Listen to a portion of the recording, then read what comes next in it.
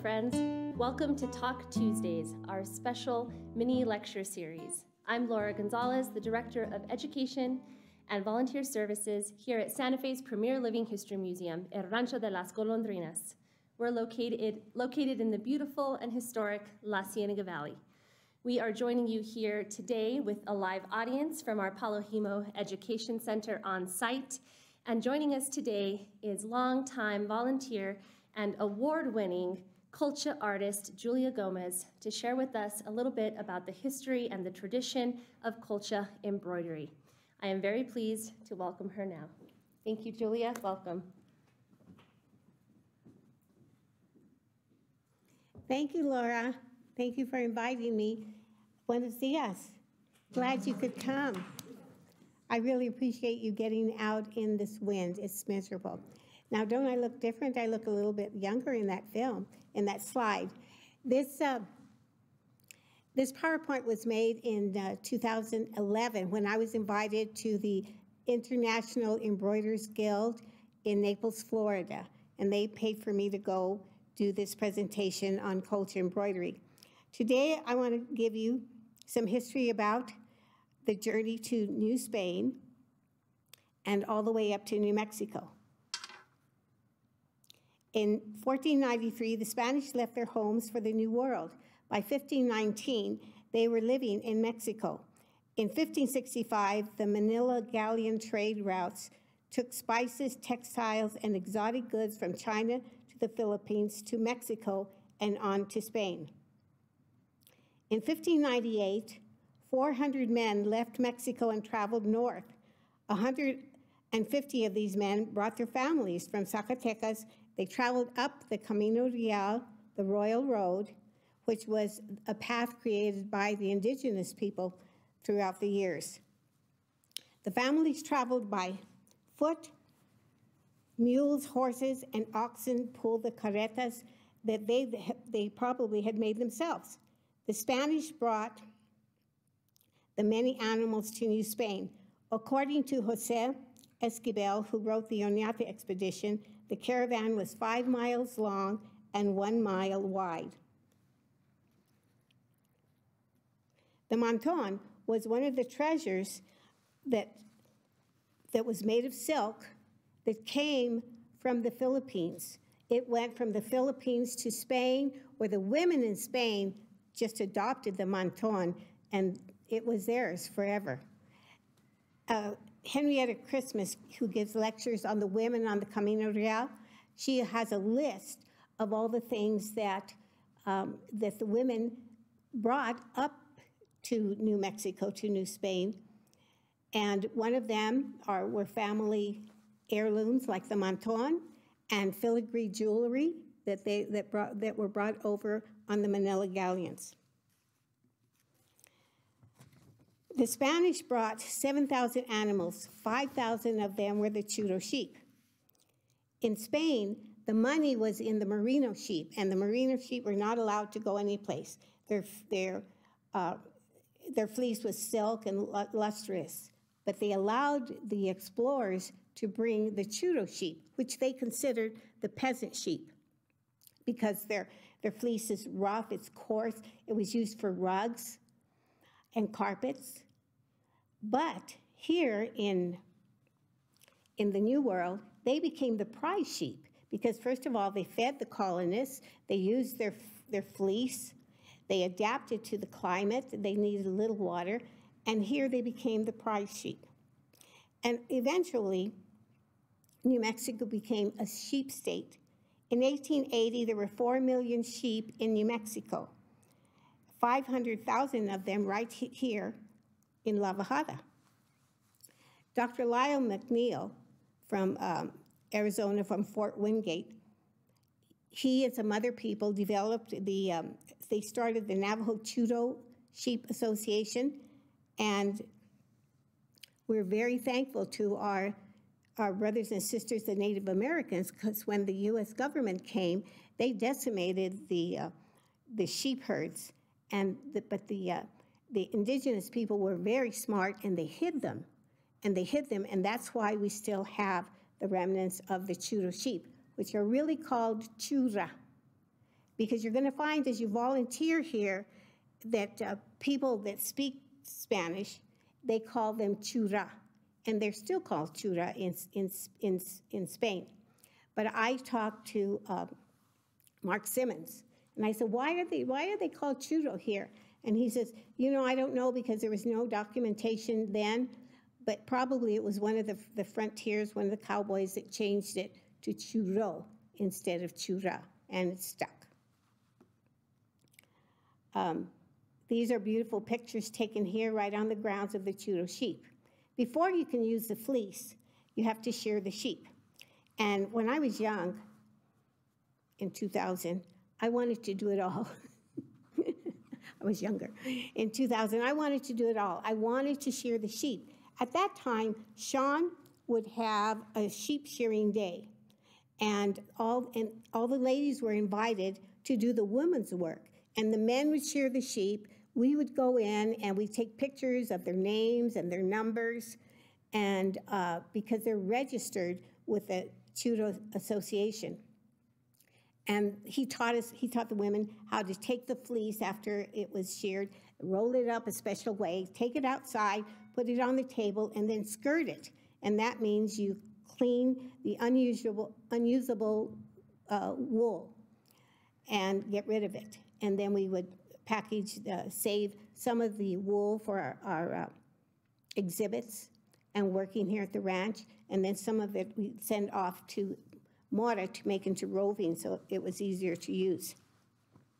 So I went, I wanted to learn to do this. So at that time, I had a friend in Mora, and she had a few sheep. They were kind of pets. So she would, you know, she was elderly, and she would she, she would shear them, you know, maybe one a week until she was done. And so I spent the day with her, and I sheared the sheep with the uh, blade shearers, and, you know, I was trembling, the sheep was trembling, and uh, at the end of the day, I said, okay, you've done this, and you're too old and too little to keep it up, so now I just talk about it. So next, you have to, uh, actually, you have to wash the wool. And the Native Americans also showed the Spanish how to use the root of the yucca to, for soap. And um, so I did this too. I went out and I found a yucca and I took a pick and a shovel and I tried to get that root out. And I had to call in somebody to help me because it was stronger than I was. But I got the root and I took it home and I broke it open with a rock. And the inside of the root is creamy and white and it's sudsy and it smells like spring. And um, everybody at that time during the colonial period used the root of the yucca for soap. Uh, now, I, I just finished washing a ton of yarn for the uh, embroiderers that belongs here, but I buy this um, animal wash. It's called Orvus on Alameda Street at the feed barn, or I use Dawn. Dawn does wonders or baby shampoo to wash the yarn. Um, but I learned this from a fifth grader. I'm washing the wool, demonstrating, and the teachers are wonderful because they prep their kids before they come here. And so they know a lot. So I'm washing the wool and I'm talking about the yucca plant. And he says to me, I know about the yucca root. It has saponins. I think that's how you pronounce it. I'm not sure. Saponins is a natural occurring compound that causes suds. And I said, Oh, that's really good. You're a smart kid. So we have wonderful teachers in the state. Don't let anybody kid you. After uh, you wash the wool and it's dry, then you, um, you spin it. No, you card it. And if you, uh, I was hoping that the farmers were here because um, these little girls um, are the granddaughters of the uh, farm, what's her name, the, the couple that come here and the two little girls here in the middle, and that's um, Nicole's daughter in the middle when she was young. Now she's married, she's in the service, she comes to visit, and these girls are graduating from college. But they're using the, they're carding the wool, which aligns the fibers, makes it easier for the spinner to spin. That's important. And then um, there, you spin, the colonial people spun the wool on the malacate, which is a wooden spindle. It takes a long time. The, um, I'm using, I'm at the bottom here, and I'm using the spinning wheel, which probably didn't come till the 1800s, though the, uh, I think the spinning wheel was developed, was invented in India in 500 AD. Okay, um, then after you have the, the clean uh, yarn now, then you can weave. You can uh, go to the weaving room. This is the weaving, the uh, old loom that is a replica of an original one that was here. At that time, the volunteer Norm Jordan and Hal Jackson built, they replicated the old loom. The old loom is in the archives at the Folk Art, I believe. But this is a beautiful loom. The wood is all hand-adzed, just like it would have been when uh, the colonists were here. The one on the right is a modern loom at the Espanola Fiber Art Center. When I first started in 2000, I, I, I spun all this wool. I made the warp, but you know, I wasn't good at that time. And I had a lot of breakage, so you can see the mess that I have on that weaving loom. But that was my first year, and I wove six yards of sabanilla. After the weaving, we're getting to the colcha. After the weaving, then you dye the wool. In the spring and the fall and the summer, the ladies would collect flowers and roots and plants so that they had um, some pretty colors to, uh, to use in their colcha embroidery.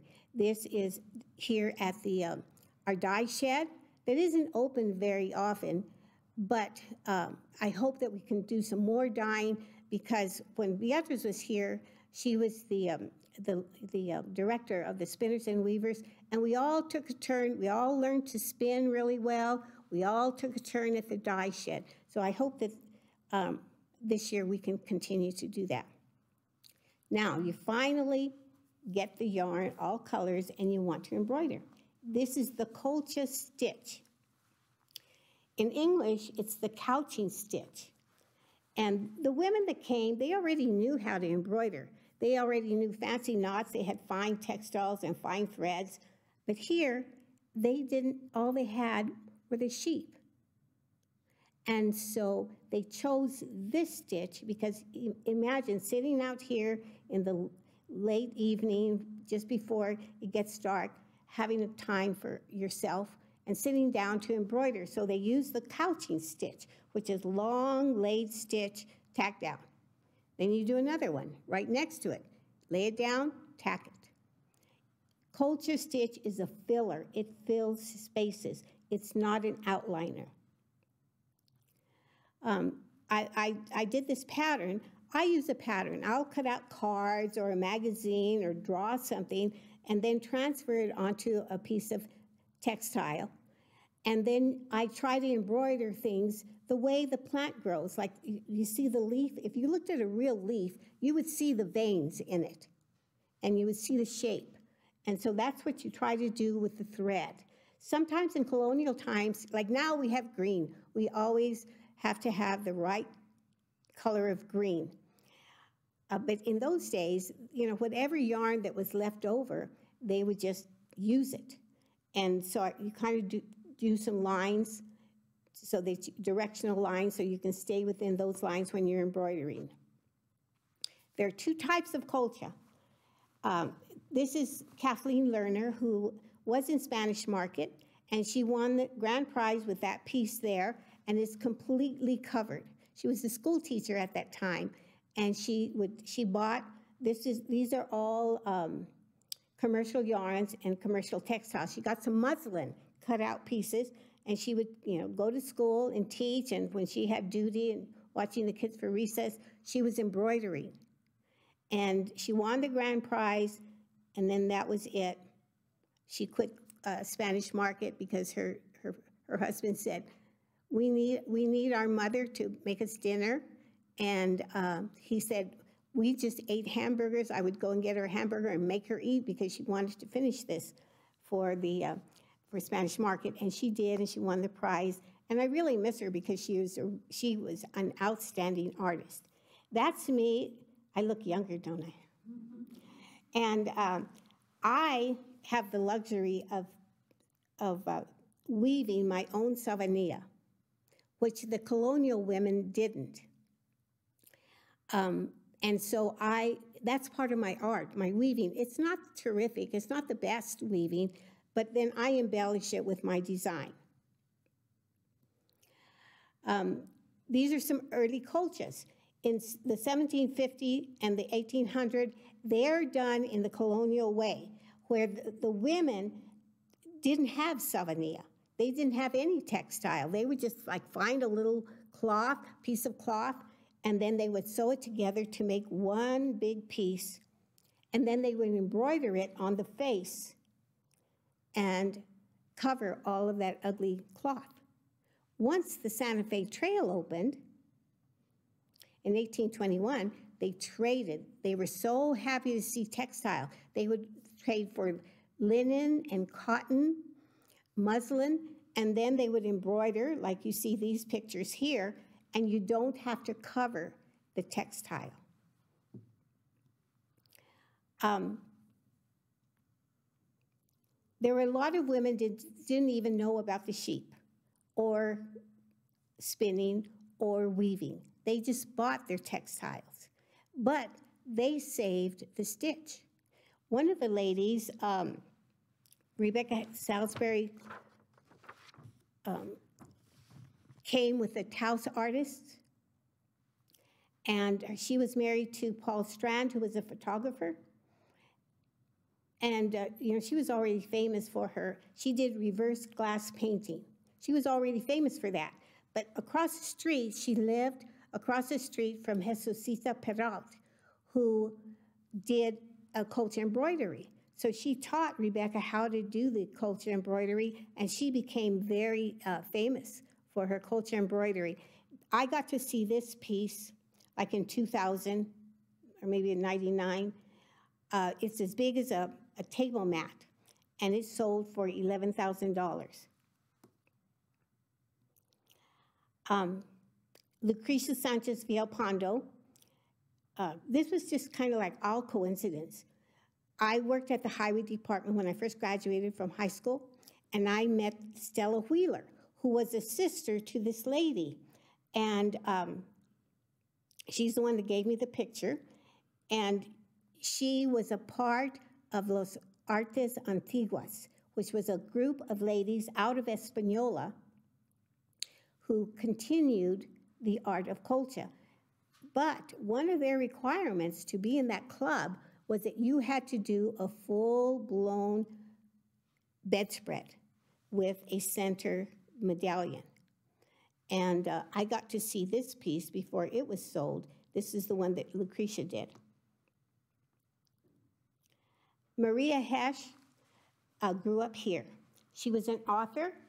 She loved to write children's book and tell stories of what it was like growing up, like making tortillas or uh, making pozole. And she was very a very famous artist.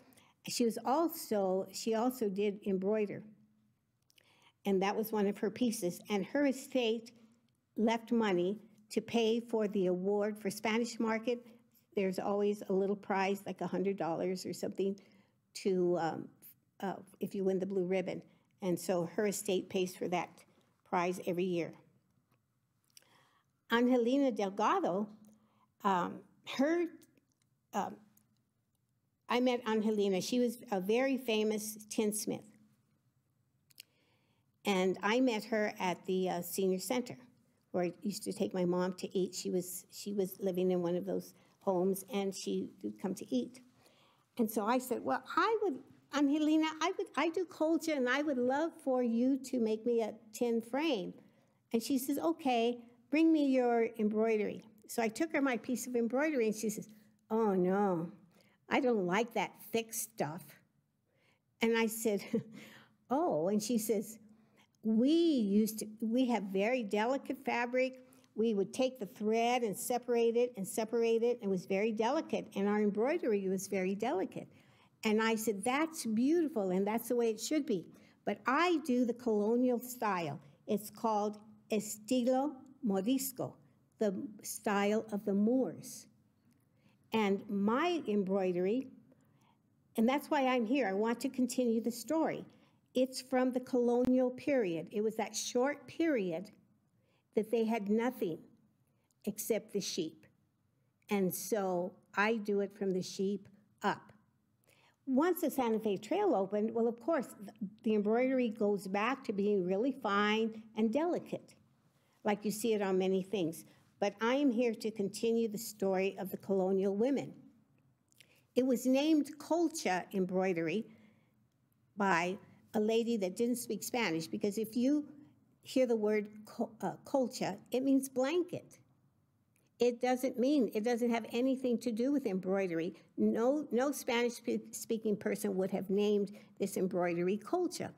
But uh, E. Boyd, who started the collection at the museum in the 1930s, she knew that the women embroidered on blankets because if there was like a, a hole, a moth hole in the blanket, they would embroider a little picture of a bird or a flower. And so E. Boyd knew that. So when she started writing and documenting these pieces, she called them uh, colcha embroidery. The real name is Sabanilla labrada. Labrada means worked, labored. And uh, so if you're going to look in the archives, if you see the word colcha, it's a blanket. It's not embroidered. It'll, it'll, it, sometimes you'll see that it was bordado, because the Spanish word for embroidery is to bordar. And you'll see, once in a while, you'll see um, sabanilla bordado or sabanillas. But anyway, we're stuck now with colcha embroidery. This is Monica Sosaya Halford. She was my teacher to learn the stitch. In the 70s, Monica was teaching at the folk art, and so I took a day off from teaching. I was at Harvey Junior High, the first junior high here in Santa Fe. And um, I went and I took a class, and you know, and then I taught school and, and had a family. And uh, later on in 1998, my friend uh, said, Monica's teaching a colcha class. And I said, Well, I've already done it, but I'll go with you. And so Monica at that time encouraged me to be in Spanish Market. I didn't get in the first time because I was using commercial yarn and commercial fabric because Beatriz Sandoval Maestas won Best of Show in 2000 with because she resurrected Sabanilla. It hadn't been seen at Spanish Market for a long, long, long time. So she set the bar.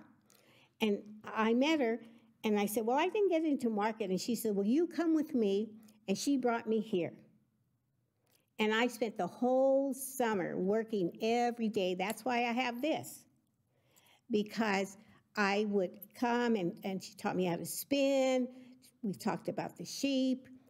We died. We spent the whole summer.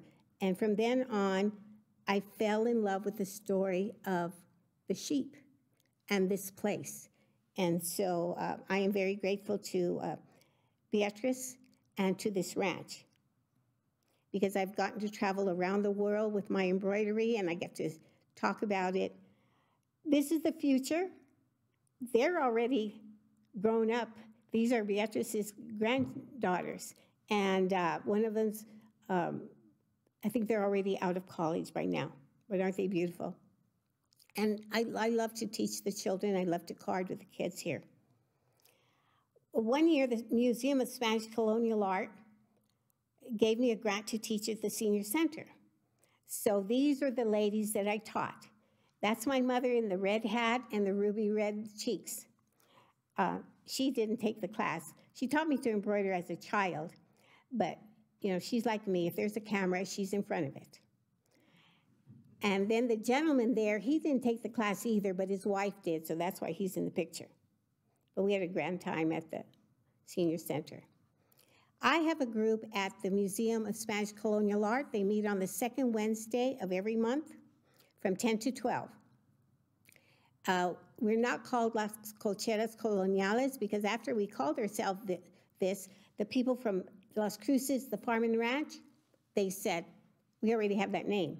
So now we call it Las Bordadoras, because that means the embroiderers. And this friend here at the bottom that is laughing, she's, she's laughing because that piece of embroidery she has sewn to her dress. Do you see it? and that happens too. okay, uh, you don't have to watch a video uh, again, but I, I put that there because I want you to know that um, there's a lovely video by my daughter. It's called The Art of Colcha Embroidery by Sarah Maria Gomez, and you'll see it on YouTube. There's another one called The Colcha Circle. Annette uh, Gutierrez Turk also has a video uh, on YouTube. She volunteers here. Monica Sosaya has a video, and of course, Beatrice also has a video. Um, we're going to finish by showing you some of my work. This is an early piece. It is at the Hispanic Cultural Center. It was designed by Dolores Martinez, who um, worked here for many years in the office. Uh, these are some of my early pieces. That's just a frame there from Jackalope that I found. It had a mirror. I took the mirror out and I put in colcha. And this is my favorite piece because this is the this was my piece 2010 I won the grand prize at Spanish Market. The name of this piece is Las no, El Jardín de las Golondrinas, the garden of the golondrin of the swallows. Um, you see the golondrinas, our favorite bird, and these are all the flowers that we see here at the ranch. Uh, you know, Julianne is the is the gardener, and she always the flowers will bloom. You're just it's a beautiful summer here, and this piece is at the uh, museum in Albuquerque. They purchased it for their collection. Um, that's me, looking younger. And uh, that the piece behind me is El, La Tilma de Juan Diego. And remember, uh, the Our Lady of Guadalupe uh, appeared to him. So I, I wove the, the sabanilla and then sewed it together so it, you can put it over your head.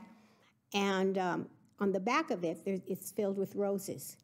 I did not win a prize, and then I was really discouraged. And I said, well, now what will I do with it? And I said, well, maybe the, the priest at the Guadalupe Church will wear it on the feast day of Our Lady of Guadalupe. But in that morning, in walks this beautiful, tall, young woman, golden hair, and her husband. They're dripping in turquoise.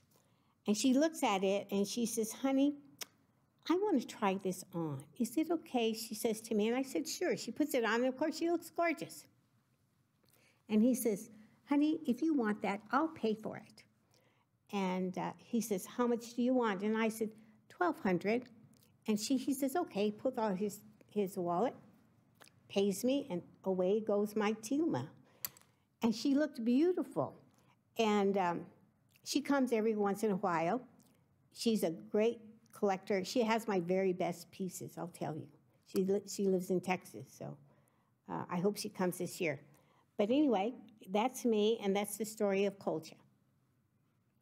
Do you have any questions? Did I skip something?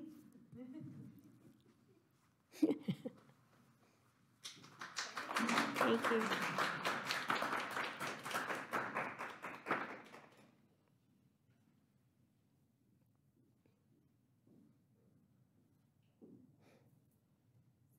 Here. Am I in the camera with you, Miss Julia?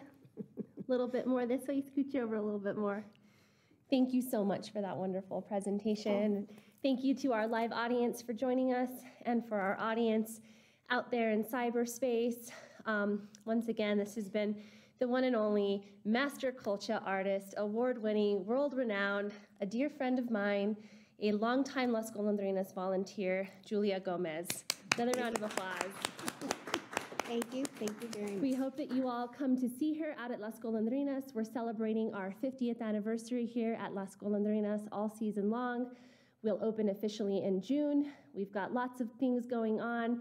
Julia will be here on uh, at least once a week on Yes. different festivals. She'll be here with her mm-hmm. colcha. You can sit down with her, chat with her, learn a little bit about the art of colcha, and probably try your hand at it as well. Definitely make sure to visit her at Spanish Market on the Santa Fe Plaza and check out her beautiful pieces. Maybe you'll take one home. Um, that's every about mid July It's the, the last weekend in July. last weekend of mm-hmm. July, Santa Fe Plaza. Um, and for all things Golondrinas, make sure to uh, look us up on our Facebook, on our Instagram, both at SF Golondrinas. Um, we've got a couple more Talk Tuesdays coming up later in the month, so make sure to check on those sites for details about that. We'll be having some more mini lecture series talking about more things about the history of New Mexico, and we hope to see you out this season. Remember, your adventure starts at golondrinas.org. Thank you so much for joining us. Bye, friends. Bye.